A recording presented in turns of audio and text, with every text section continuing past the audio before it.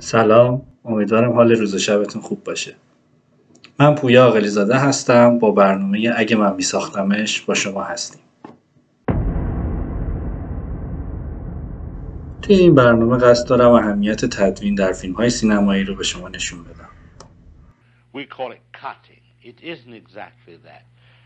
Uh, cutting implies severing something. It really should be called assembly. از یک روش نو و خلاقانه می‌خوایم استفاده کنیم و اون هم تدوین سکانس های معروف سینمایی هست به شکل جدید در این مدل که من در کلاس های خودم آزمایشش کرده بودم کاری که انجام میدم این هستش که ابتدا نماهای یک سکانس رو جدا می‌کنم و بدون اینکه دسترسی به راش ها یا به معنای عام نماهای کامل اونها در آرشیو تدوینگرش داشته باشم اونها رو با تغییر ترتیب کنار هم قرار میدم و روایت جدیدی رو می‌سازم. این روش روشی هست که به ما آموزش میده که چگونه می‌تونیم با استفاده از جابجا کردن عناصر مهم فیلم که همون نماها هستند معنای جدیدی تولید بکنیم و یا قصه خودمون رو با همین متریال گرفته شده بسازیم.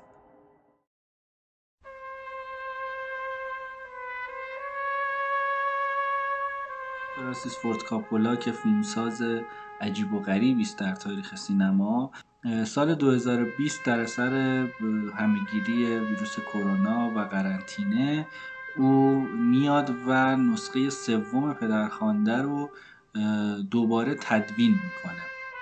و گویا فیلم جدیدی می‌سازه. او میاد از فرمت روایت پدرخوانده یک استفاده می‌کنه و رابطه پدر و فرزندی رو خیلی بولد می‌کنه در قسمت سوم پدرخوانده.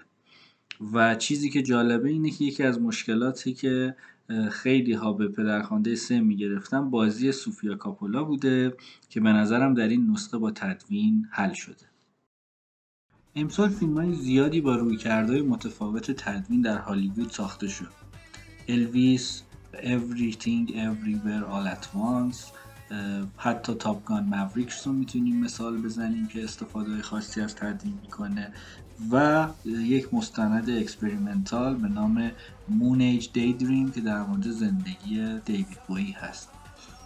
نکته این مستند اینه که دیوید بویی چند سال پیش فوت کرده و دسترسی به او وجود نداره. ولی کل فیلم بر اساس فایل های آرشیوی ساخته شده و در واقع هنر تدوین رو نشون میده که چگونه تونسته فضایی بسازه. گویا مصاحبه ها بخشیش توسط فیلمساز انجام شده و با تصاویر دیگه ادغام شده در صورتی که تمامی پلان های موجود چیزهایی هست که در گذشته گرفته شده و کنار هم قرار داده شده.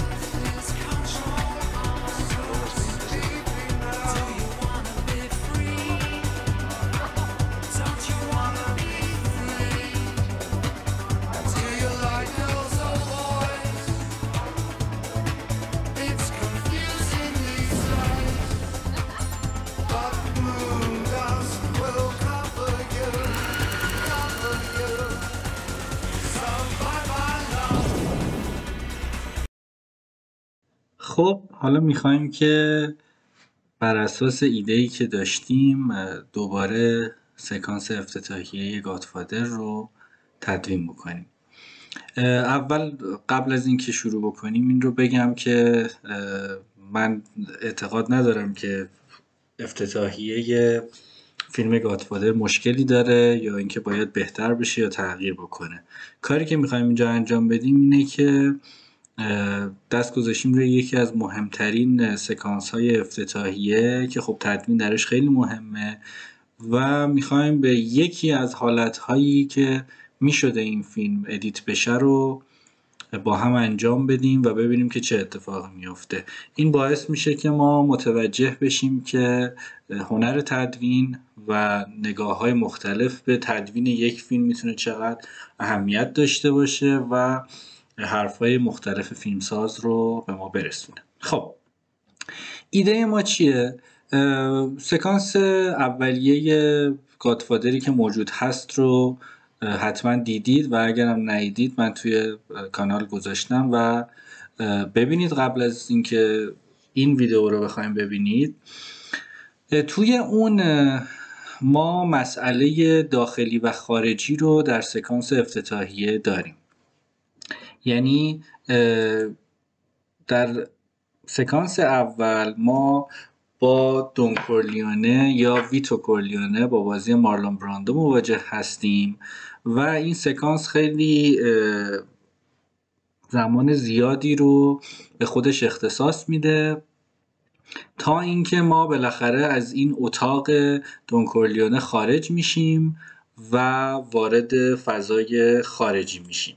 پیوند این دوتا فضا توسط این پنجره ها و کرکره ها صورت می‌گیره که ارجاع خاصی به فیلم نوارهای آمریکایی هم داره که توی فیلم پدرخوانده به طور کلی ما این ارجاعات رو زیاد می‌بینیم.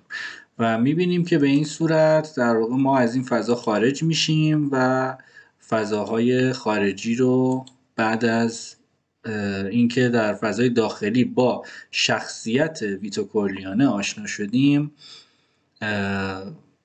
به ما ارائه میشه.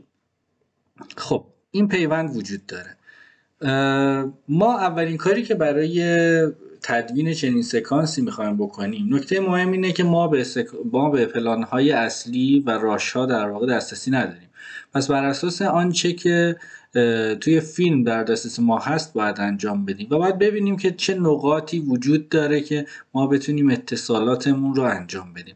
الان این پلان یک پلان تعیین کننده هست که ما فضای داخلی اتاق ویتو رو به فضای خارجی که مایکل در اون حضور داره و اینجا می‌بینیم که آلپاچینو مایکل کورلیونه وارد این فضا میشه.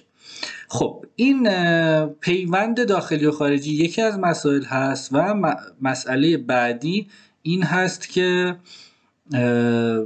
ما در ادامه روند آنچه که در خانواده کورلیونه میگذره می‌بینیم که چقدر مهمه که پدر و پسر در چه سبقه ای داشتن و چه زندگی رو سپری کردن تا به جایگاه پدرخواندگی برسن. یک جمله کلیدی داره مایکل کورلیونه که میگه اینها خانواده من هستم من نیستم. خب و این رو داره به کسی میگه که بعدها باهاش ازدواج می‌کنه و اینجا در واقع یک جورایی نامزدش هستش. خب این جمله کلیدی در درام این سکانس و کل مجموعه پدرخوانده خیلی تاثیر داره. حالا من اومدم چیکار کردم؟ اومدم از این فضا استفاده کردم و مدام می‌خوام که در همین سکانس اول دو شخصیت مهم اول فیلم رو معرفی بکنم. چیزی که سرش خیلی صحبت خیلی ها گفتم مارلون شخصیت اوله که در واقع اسکار هم به اون اهدا شد ولی در واقع در یک خط داستانی ما می‌بینیم که آلپاچینو شخصیت اول اینجا هست. حالا من می‌خوام بگم که هر دوی اینها دو شخصیت مهم هستند که گویا این پسر تصویری از پدر خودش هست ولی در این زمان که حالا بعدها متوجه خواهیم شد که تفاوت هایی که این پسر و پدر در جوانیشون دارن باعث شیوه مدیریت اونها هم میشه. خب پس بر این اساس شروع می‌کنیم. خب من یک جاهایی رو سعی کردم کوتاه بکنم دیالوگ ها کوتاه بشن و این رو میایم ما به عنوان نه یک سکانس افتتاحی یک فیلم به عنوان یک سکانس در نظر میگیم که قرار شخصیت ها معرفی بشن. و اون ساختار اپرایی که کاپولا با اقتدا به فیلم های ویسکونتی در واقع ازش استفاده کرده هم اینجا پوشش خواهیم داد. یعنی اینکه شخصیت ها به واسطه یک سری اکت هاشون در این مهمانی همگی معرفی خواهند شد. از خواهر داماد خود مایکل نامزدش برادرهاش خود ویتو و حتی کسایی که قرار کارهایی برای خانواده کلیونه رو بعدا انجام بده همه رو ما در اینجا می‌بینیم. در این مدلی که من دارم ارائه میدم خیلی کوتاهتر شده. خب میریم جلو ببینیم که چه اتفاق میفته شروع ما به شکل خود فیلم خواهیم داشت.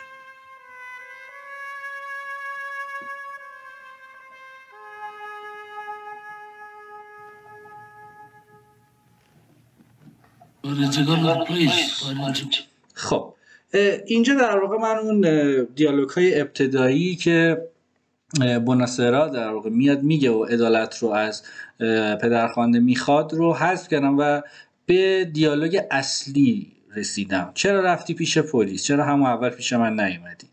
این در واقع تعیین کننده جایگاه پدرخوانده هم در همین ابتدا هست. خب این پلان ادامه پیدا می‌کنه. ما با دکمه پایین می‌تونیم پلان بریم پلان بعدی. خب پلان بعدی دقیقا همون کاتی هست که در خود فیلم هم زده شده و ما تغییر توش ایجاد نمی‌کنیم. اینجا یک نمایی می‌بینیم که نمای معرف فضا هست و کاراکترها توش هستن. و اینجا یک پلان تونالی داریم که اینجا می‌بینید. الان زمان پلان رو یک دقیقه و حدود 18 ثانیه هستش که خب خیلی طولانیه ولی اینجا به خاطر بازی درخشان مارلون براندو تدوینگر تصمیم گرفته که حتی کاتی هم به صورت بوناسرا نزنه. و در پلان بعدی این اتفاق میفته در صورتی که در یک تدوین رایج این اتفاق هم میافتاد. یعنی ما می‌رفتیم روی صورت بوناسرا حتی جاهایی که ممکن بود دیالوگی هم نداشته باشه. ولی اینجا یک سره ما مارلون براندو رو می‌بینیم حتی وقتی که بوناسرا صحبت می‌کنه. خب میریم پلان بعدی. اینجاست که بوناسرا صحبت می‌کنه توضیح میده. باز به شکل همون پلان قبلی هست. یک نکته ای که اینجا می‌تونیم یاد بگیریم این پلان رو می‌بینیم ما هم.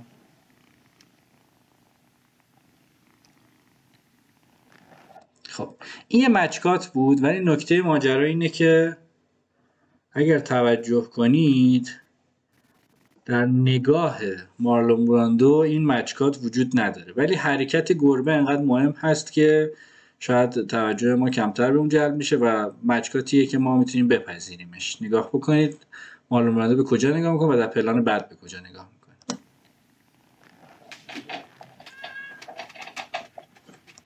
خب. خب اینجا من اومدم از اون نقطه اتصال خیلی زود استفاده کردم. یعنی بعد از اینکه دو دقیقه و سی ثانیه از فیلم گذشته دارم این کار رو انجام میدم در صورتی که در خود فیلم بیش از پنج دقیقه طول می‌کشه تا ما وارد فضای خارجی بشیم. خب مارلون براندو میره دم پنجره. ببینید این نقطه های اتصال خیلی مهمه. در هر فیلمی و هر شرایطی. خب پنجره و آنچه که در بیرونش میگذره خیلی مهمه. ما این پلانمون یکم کوتاه هست چون خب سورسی که داریم این پلان رو کوتاه داده. اگر می‌تونستیم طولانی تر داشته باشیمش بهتر میشه ولی همینجا هم حالا با اتصال صدا و اینها ما این اتصال رو شکل دادیم. خب پس پلان بعدی این گونه میشه که ما رفته پشت کرکره و پنجره.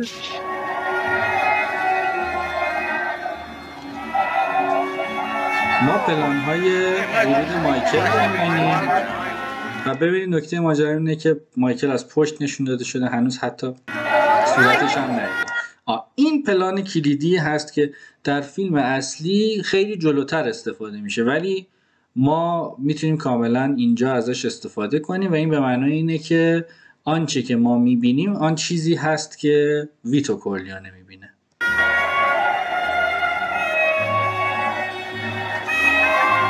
اینجا در واقع از لنز تله هم استفاده شده و یکم حالت وی رو داره. آن چیزی که شخصیت ما دونکورلیانه داره تماشا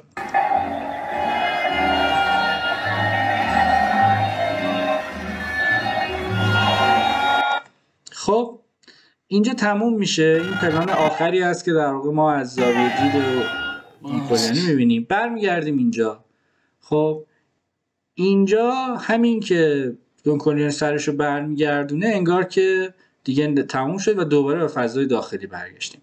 پس آنچه که از تدوین تا الان به دست میاد اینه که ما اولا شخصیت پدر و پسر رابطه پدر و پسر حالا پسر ما ندیدیم چه احساسی داره ولی کاملا می‌فهمیم که چقدر رفتار مایکل برای پدرش مهم هست و نکته مهمتر دونکولیونه متعلق به داخل خانه فضای خانه فضای گرم هستش و پسرش مایکل وارد فضای خارجی و به نسبت او فضای سردتری هستش. اینها در واقع با این مدل تدوین به ما القا خواهد شد. خب این پلان هم میریم تا جلوتر.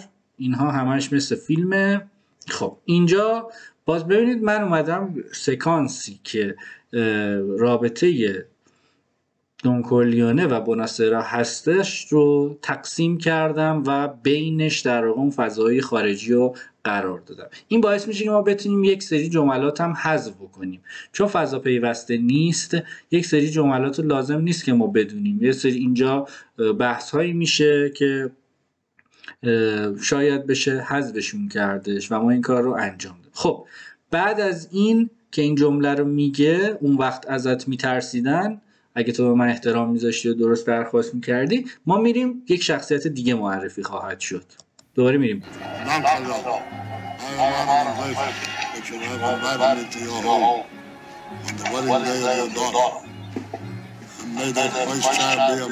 خب اول لوکا براتسی بعد شخصیت کی؟ و بعد تام هیگن You look terrific. My brother Tom Higgins, you do?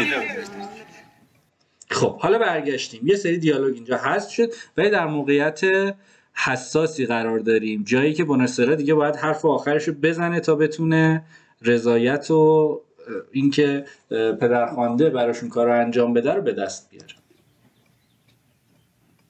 Be my friend. خیلی مهم هست که ما از پلان های استفاده کنیم که یادآور اون فضا باشه. ولی چون فضاهای ما خیلی گسترده نیستن دو تا فضایی که می‌دونیم به چه صورت خارجی و داخلی خارجی هم مهم نیست در کجا قرار دارن. ما فقط می‌دونیم که در یک حیات بزرگی قرار دارن و توی عروسی هستیم. خیلی مهمه که در واقع کوبنده باشه اون پلانی که در ابتدای بازگشت به این فضا استفاده میشه. اینجا هم می‌بینیم اون استراب بونسرا خب خیلی مهم هست.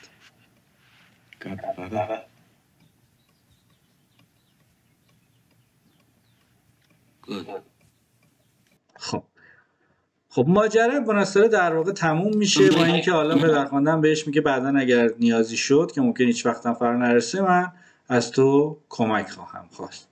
که در واقع بونسترا هم یک جورایی مردشور هست و حالا بعدها برای پسرش استفاده میشه از کمک اون خب ما من اومدم اینجا از عروسی استفاده کردم و یک شخصیت مهم که مادر مایکل هست و در واقع همسر دونکورلیونه هم اینجا در حال رقصیدن معرفی میشه. همین هر شخصیتی با توجه به فضایی که معرفی میشه ما در ادامه هم ازش انتظاراتی خواهیم داشت. خب اینجا در واقع معلوم میشه عروس و داماد کیان. خب اینجا ما می‌بینیم که پدر هم اومده خارج شده از فضا و اینا قرار عکسی بگیرن. Michael? Don't worry, it's your fault. We're not taking a picture of you, Michael. خب همه آنچه که کاشته بودیم اینجا با این دیالوگ به نتیجه می‌رسه یعنی اینجا دونکولیونه میگه ما بدون مایکل عکس نمی‌گیریم پسرش و زنش کنارش هستن ولی مایکل انقدر مهمه که اصلا عکس رو نمی‌گیرن و او میره خب پس فهمیدیم که حس پدر چیه حالا نکته مهم اینه پلان بعدی میرسونه که حس پسر چیه و الان مایکل داره چیکار می‌کنه؟ اینجا این تصمیم ماست. ببینید ببینید وقتی که گادفادر میره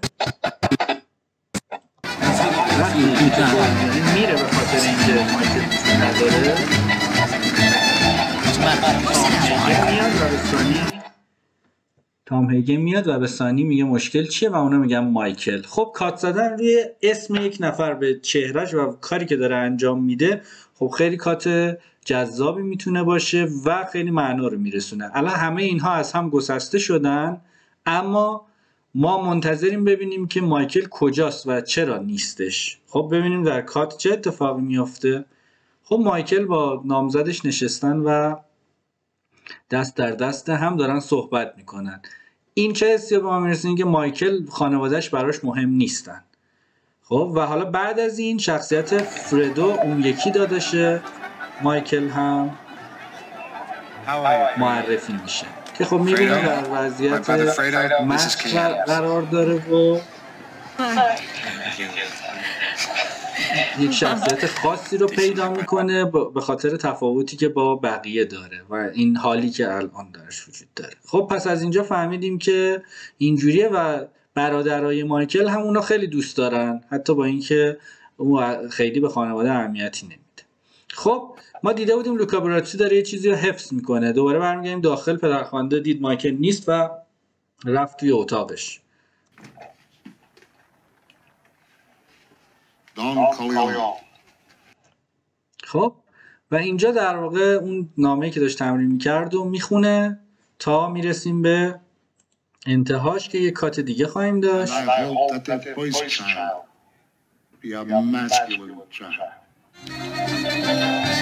خب اینجا در واقع کاری که من کردم حالا میریم می‌پردازیم به اینکه اون بیرون داره چه اتفاقای دیگه ای میفته داره پول های جابجا میشه و این هم باز مسئله مهمه یعنی مسئله پول رو هم اینجا مطرح می‌کنیم و شخصیت های فرعی رو هم داریم معرفی می‌کنیم در این حال که این 20, 30 grand. And small bills, cash. In that little silk purse. Not all, if this was somebody else's wedding. خب اینجا یک اتصالی من شکل دادم که می‌بینیم دوباره در واقع پدر اومده بیرون و بچه ها هستن. فریدو خوش می‌بینی پدر داره سلام علیک می‌کنه مهمانه ها. و این دیالوگ کلیدی که الان بهش رسیدیم. در واقع ما همش دیدیم که در خانواده داره اتفاقهایی میفته برادرها میان و مایکل رو می‌بینن ولی هنوز هیچ اتصالی بین پدر و پسر اتفاق نیفتاده. و در نهایت هم گویا کی داره خانواده مایکل رو تماشا می‌کنه و مایکل جمله کلیدی رو میگه که ما در ادامه خواهیم دید که چه اتفاقهایی خواهد افتاد. و این my family, دیالوگ Kate. تغییر خواهد کرد.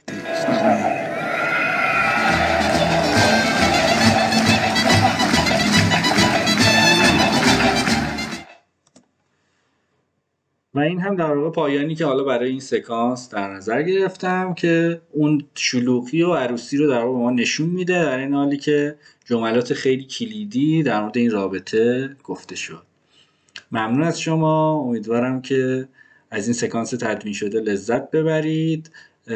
حاصل این تدوینی که توضیح داده شد در یک فایل در پست بعدی قرار داده میشه. خب این برنامه تموم شد. لحظاتتون ناب و سورال